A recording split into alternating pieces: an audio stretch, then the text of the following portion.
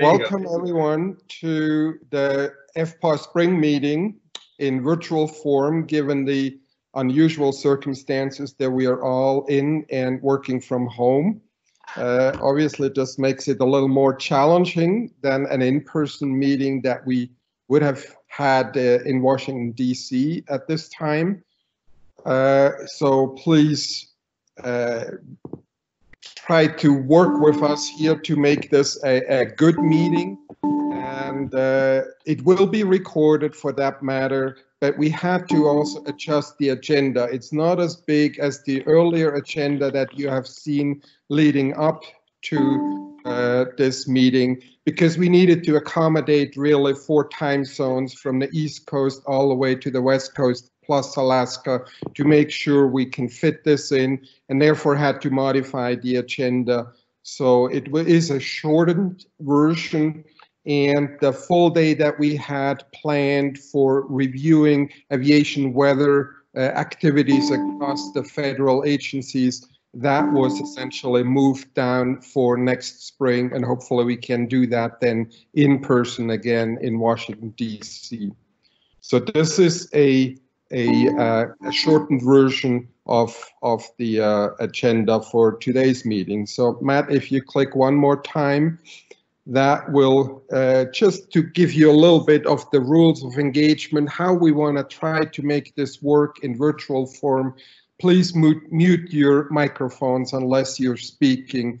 And in terms of speaking, if you have questions, it, it will be difficult if you just speak up because we may not know who is speaking. So if you actually submit questions or comments that you have through the Microsoft Team chat capability, if you hover with your mouse on the screen, then you see a box coming up and at the bottom there is a, a, uh show conversation that you can click on, which opens a chat room where you can type in a question or a comment, and we will have someone monitor that so that we can pick up uh, anything that will happen and and and speak up on your behalf. And Matthias, that will be Dave Strand. Um, my MITRE colleague, Dave Strand, will be monitoring the chat room. And when we get into Q and A, we'll basically run it through Dave at that point. Okay, sounds good. Thanks for chiming in, Matt. And can you click one more time? So this is just showing a very abbreviated version of today's uh, schedule. We will have a wonderful keynote address to start us off uh, by our uh, FA administrator, Captain Steve Dickson, and Mike Fronzak, uh, Matt Fronzak will introduce him in a moment. And then we will uh, focus on weather reporting in the National Airspace System, current and future needs. This is a session that was put together by Gordy Rother, John Stevenson, and uh, Tom Ryan. And this will uh, occupy most of the day. There will really be three segments with breaks in between. And then towards the end of the day, we'll have an update of ADSB weather uh, capabilities by Steve Darr. And uh, Matt and I will wrap it up uh, late today uh, on FPA updates to the extent that we still have time uh, at that moment. So without using up too much time here really with the welcome and introduction, I'd rather hand it over to Matt Fronzak to introduce our keynote speaker and get rolling for the day. Thank you. Thank you, Matthias. Uh, I, I appreciate your remarks. Folks, I'm privileged to introduce our keynote speaker, the FAA administrator and um, my former Delta colleague, Captain Steve Dickson. Um, when he first took over Delta Flight Ops in 2007, Delta was emerging from bankruptcy, and I had recently transitioned from a management position in flight control uh, to a line ATC coordinator position. And at that time, Steve was my boss's boss's boss's boss's boss, boss or something like that. Um, because I was no longer in flight control management, Steve and I didn't really have a chance to develop the type of working relationship I think we would have uh, had I still been part of the flight control management team. Uh, and therefore, we did not have to overcome the fact that he was a Zoomie and I was a squid. But in any event, that still is out there for all to know. nonetheless, um, I, I did observe him for those last two years of my Delta career and, and subsequently as I transitioned to life after Delta. And frankly, I was pleased both with what I saw in terms of Delta's success and didn't see or hear, i.e. lots of Delta pilot angst, and I know a couple of them very, very well. Um, several events took place in Steve's uh, 12 or so years of leading Delta's flight ops organization that I think are very much worth relating. Um, the Delta Northwest merger consummated in October 2008 um, has been called a textbook example of how to combine two airlines. It went this way in no small part, I am sure, due to Steve's leadership, his guidance, and his tenacity. And if you've never been involved in combining airlines, and I did it twice with Western and Pan Am, all I can say is that contrary to what the financial analysts say, few tasks are more difficult, more contentious, or more full of pitfalls. Um, Steve was a, a hands-on kind of industry technical leader while at Delta. He was the chairman of the IATA Ops Committee. He was the chair of the Air Traffic Management Advisory Committee, known as ATMAC, and also the Next Gen Implementation Task Force, commonly known as Task Force 5. He understands very well how the pieces and parts of the NAS, including aviation weather information, interact with one another. And speaking of aviation weather, Steve was always a strong proponent of it while at Delta. And I'm pretty sure that was in part based on his own experiences as a T 38 F 15 Boeing 727, 737, 757, and 767, and for reasons that are unclear to me, A320 pilot. Uh, perhaps the most telling comment, though, that I found with regards to Steve's flight ops leadership at Delta came from the Delta channel in the Airline Pilot Forum online blog. And in case you are not aware, pilots tend to speak their minds about everything and anything, whether it's in person or in blogs. The anonymous to me pilot commenter, who I am reasonably certain was too old to be Steve, wrote, and I quote, frankly, Steve Dickson is probably the most forthright and talented flight ops leader we've had since Pre Ball. Now, in case you've not heard of him, Thomas Pre Ball was Delta's VP of flight operations in the late 1960s, early 1970s, and the chief pilot for several decades before that. According to the comments that the Georgia Aviation Hall of Fame wrote about Pre Ball, quote, few have been so revered by the pilots with whom he worked for his honesty, his fairness, and support. And Pre's reputation as a trailblazer in commercial aviation was legendary. Being compared to him is a heck of a compliment, and, and to boot, it came from a crusty old cynical pilot. In October 2018, Steve retired from Delta after a highly successful 27 year career. Being a young man, however, he decided to take on one more small challenge. And in July of 2019, Steve was sworn in as administrator of the FAA.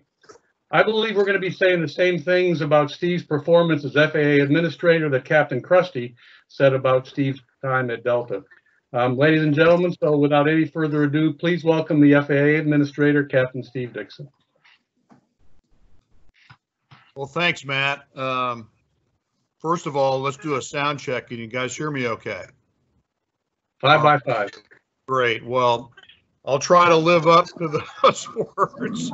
I think some of them might be true, but uh, um, as I heard uh, someone remark a few minutes ago, I'm joining you in this environment in uh, pandemic casual, FAA pandemic casual here. Um, and this is my first time actually using um, Microsoft Teams. So hopefully this will this will come across okay. We've actually been using uh, the government version of uh, of Zoom, and uh, the FAA right now is doing about 1,500 Zoom meetings a day. I've, I've had anywhere from five to eight myself. So uh, we've been able to function uh, in this environment extremely well. Um, worked a lot of uh, a lot of issues for the benefit of the industry in very difficult circumstances. So, uh, but I want to really start out by thanking Matt for his kind words, and also Matthias and uh, and Dave Strand for their invitation to uh, spend some time with you today.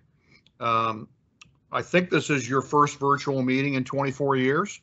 So, uh, you know, hopefully, uh, you know, this is going to, as it is for a lot of uh, a lot of organizations, uh, actually create some opportunities for uh, for collaboration, working together uh, in different ways than than uh, that we didn't really think about so much before. I know that there's some opportunities here at the agency. For example, I've got uh, 34 locations here inside the District of Columbia, and uh, there are times when folks have to come into the building for a 30 minute or an hour long meeting, and you think of all that transit time. And uh, I know that we'll be using tools like this going forward to make ourselves more effective and uh, be able to conduct uh, outreach even here within the Washington area um, a lot more dynamically. Um, you know, as Matt said, we shared some some challenging times together. Um, but out of these challenges, uh, like we're all going through right now, uh, there's tremendous opportunities, and I think something uh, you know that that uh, we're, as we're going through this whole COVID-19 crisis, um, you know, we wouldn't have thought about anything like this in our lifetimes. You know, would happen, and uh, the impact that we're seeing on the industry that we all love so much. Um, pandemics were something that I remember reading about in the history books. And, uh, you know, we've had a few. We had SARS back in the early 2000s. We've had H1N1. Um, you know, we've had Ebola, but nothing like the, the challenges that we're facing today. So, uh, you know, it's, it's really a pleasure uh, to be with you. You know, out of any crisis comes a lot of opportunity uh, if you look at it in a, in a positive way. And I think one of the opportunities, frankly, is for all of us to be together uh, today and for me to be able to spend some time with you. So that's something that I value very much. Um, you know, given the convective weather that's lasted through the DC area over the past few days, actually, it's a beautiful day today. But uh, having a virtual meeting with where folks didn't have to travel in uh, with some pretty difficult weather last night actually ended up maybe being a pretty good thing.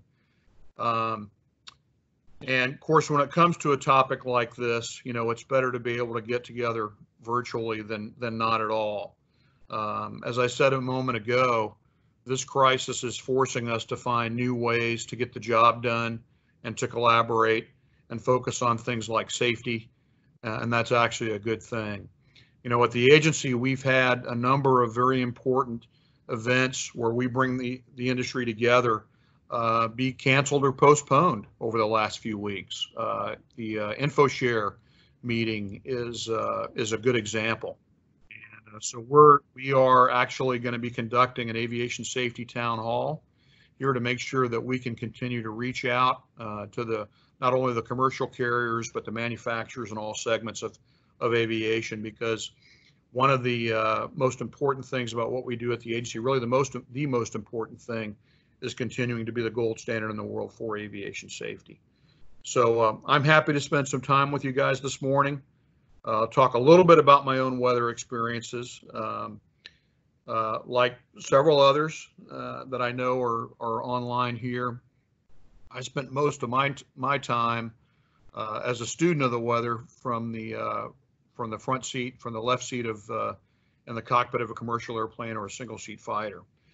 And you know, when it comes to weather forecasting, one of my favorite quotes is from Yogi Berra. And uh, Yogi once said, predictions are really hard to make, especially about the future.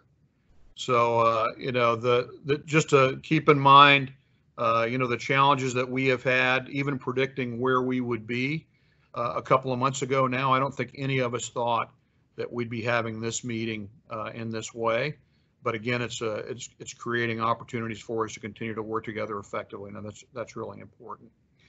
Um, like all the pilots among us, um, I've got a lot of respect for uh, er, the work that you have done and the work that everyone in the weather space um, has done over the years.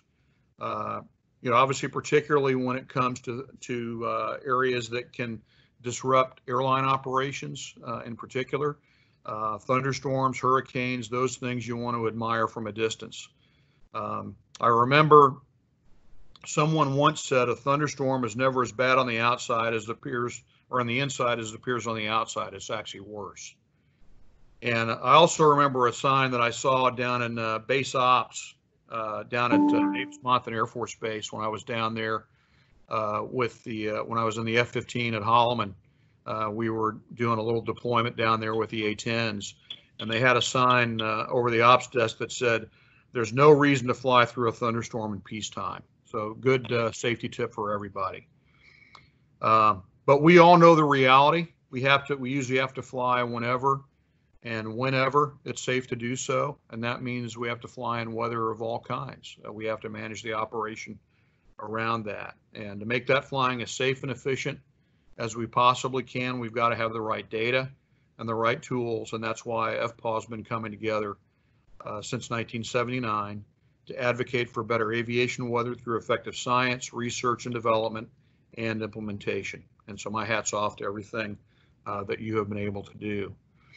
Um, I'll share a few of my experiences with weather during my military and civilian flying careers, and then I'll talk a little bit about some of the FAA's efforts to improve aviation weather.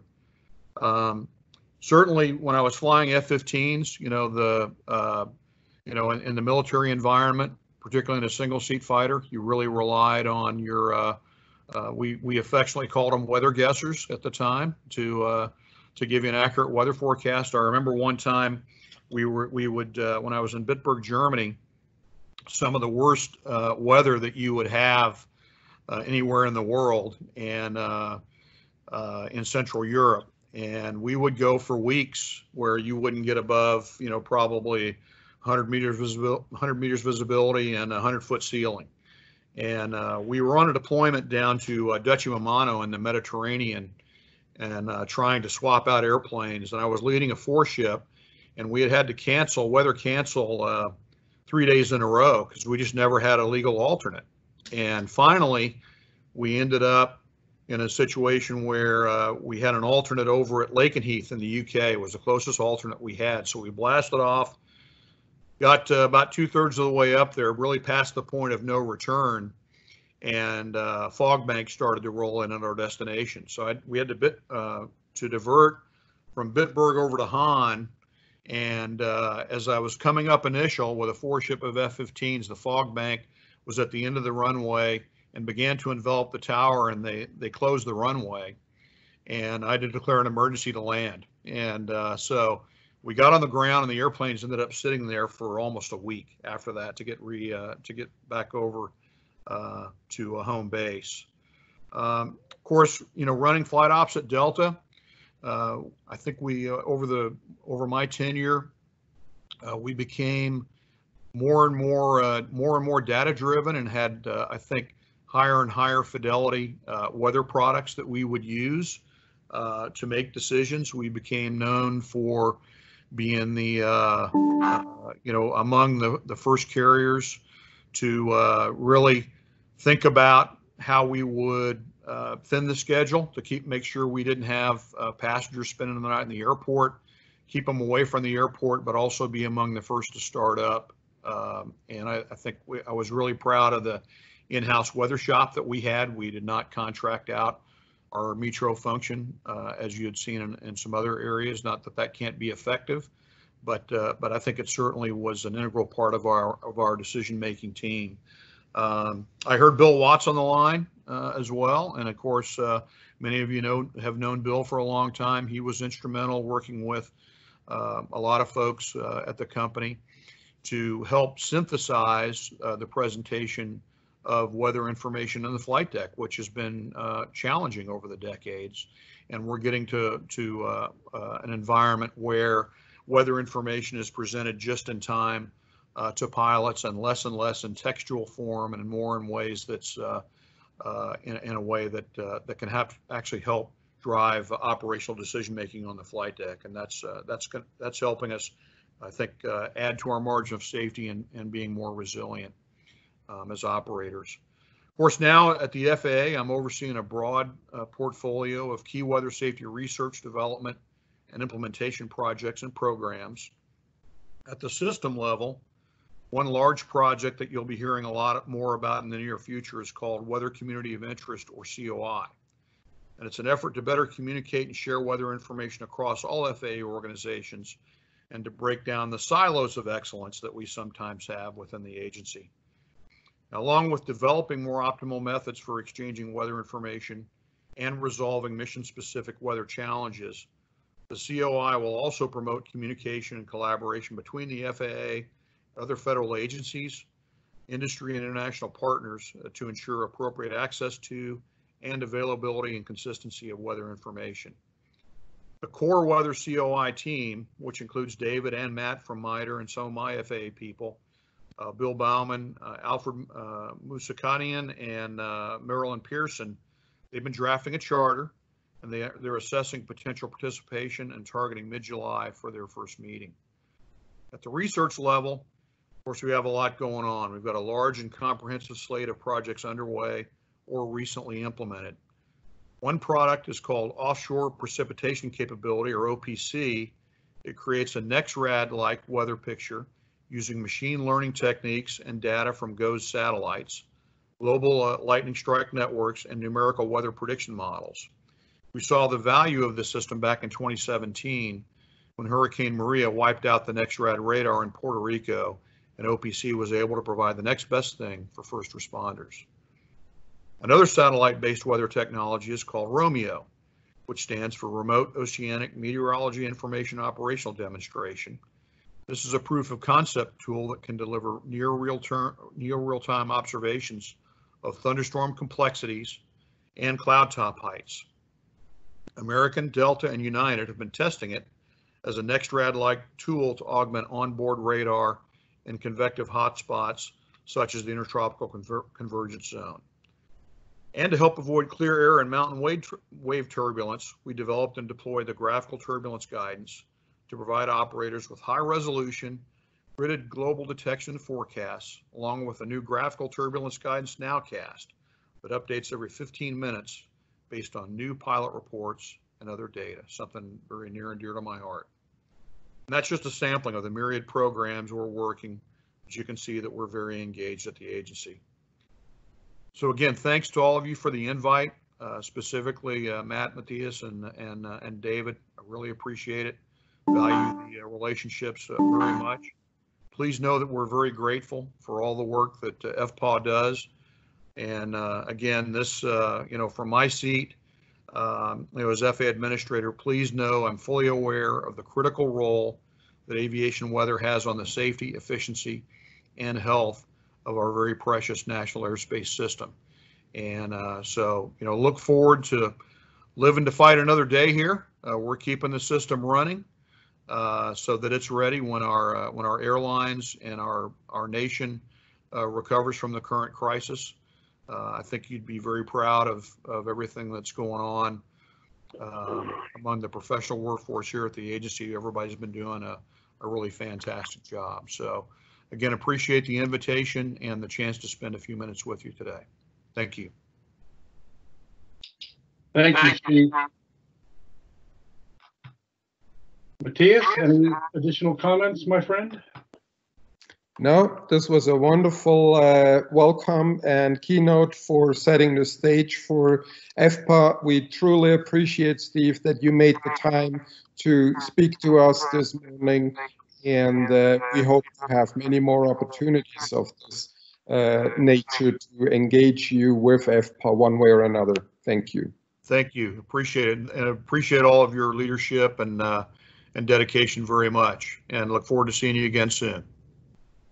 Hopefully in person. All right, absolutely. Thank you.